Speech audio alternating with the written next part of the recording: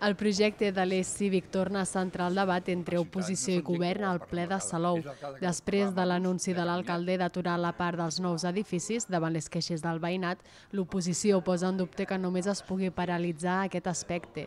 L'alcalde es referma en el que va dir i aclareix que s'atura la construcció d'una vintena d'edificis nous, mentre que la urbanització i ordenació tot l'espai públic de l'eix segueix la seva tramitació, per tal d'avançar en la implantació d'una nova avinguda i una nova mobilitat sostenible amb integració del tren via i carril bici.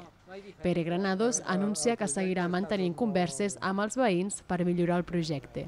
Si això, que és diàleg, que és escoltar la gent, estudiar les seves propostes per veure si s'acullen o no s'acullen, escolti'm, el que toca, com a prudència, és suspendre. A mi les pancartes no m'espanten gens ni mica, ni, la, ni anar a buscar signatures els dissabtes al matí, ni res d'això. Tots estem d'acord que es té de suspendre, eh?